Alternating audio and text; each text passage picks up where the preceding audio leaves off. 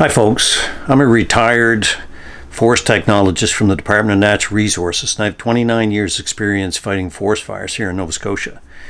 As things progressed last week and buildings were burning and, and uh, people were being evacuated, I realized that, that uh, Nova Scotia had a resource of retired uh, technical staff that were experts at fighting fire. And so I put together a team. I called some of these guys up and I put together a crack team and then I immediately notified uh, Natural Resources at Fire Control in Shubee. I contacted a local district supervisor, and they both notified me that the province wouldn't be interested in hiring on uh, re any retired staff to do work. So uh, at the same time we were being told that, the Premier was begging for help on every newscast that he could get on. So I started that last Tuesday. And then I fought with the province uh, on Tuesday, Wednesday, Thursday, and again on Friday, trying to get our guys put in key positions where they were needed throughout the province. And uh, I got the same answer continually thank you, but no thank you.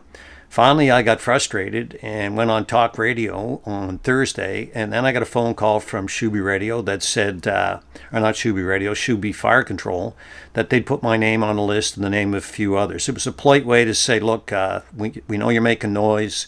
Thank you, but no thank you. We're still not going to hire you guys to come fight fires. So, what taxpayers need to understand is while buildings were burning and the province was short staffed, and our government was standing in front of TV cameras saying we're doing everything they can. They lied to your face. They didn't. I could have pulled together a lot more teams of guys, uh, retired guys, willing to come out and do this. Uh, we were not offering to do front line, uh, hose line fire, but there's there's uh, for every guy on the line, sometimes there's three guys behind the line providing providing what they need in the way of services and we were highly trained in both evacuation, all level all levels of incident command. Personally, I've been incident commander on dozens of uh, uh, dozens of different fires and fought fires up to 50,000 acres. And together on the first team I put together, we had close to 200 years of experience of fighting fires here in the, the Acadia region of Nova Scotia. We have our own particular forests down here that, for example, all the crews that are being shipped in have zero experience fighting fires in an Acadian forest region. Uh, most of their experience is in boreal forests. The guys from South Africa have no experience up here. The guys from the U.S., same thing. And our own government passed over an opportunity to hire a team of professionals to come in and help them do the work they're now paying for foreigners to come in and do who aren't experienced uh, in, the, in our forest type. And it's absolutely a, a, disgrace to the province. Now, I realize that there were major problems at all levels. There appears to be problem at, uh, at man, uh, bureaucratic levels, managerial levels, and at political levels. When things should have been done, they weren't getting done. But I'd like to quote Tim what Tim Houston said on Thursday on Talk Radio. He said, "In an emergency, the time for action is now. The time for paperwork is later." And that was only minutes after I'd just been advised from Shubenacadie, thanks, but no thanks. We're not going to be, we're not going to take you guys on.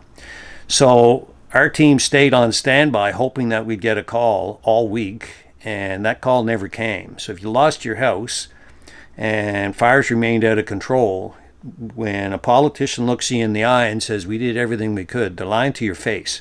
And what has to happen here is people need to be held accountable both at a bureaucratic level and at a political level.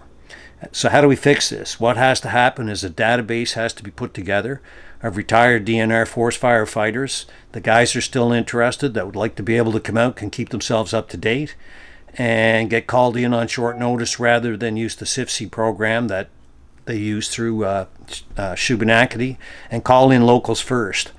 And there's no reason it can't be done. All it needs is political will. So something has to change and if I lost the house and I had been evacuated, I would literally be crying at the top of my voice for politicians to fix this. So it needs to get done, and it needs to get done now. No more excuses. Anyways, guys, uh, that's a little background that you're not going to hear anywhere else. So peace out and take care of yourself out there.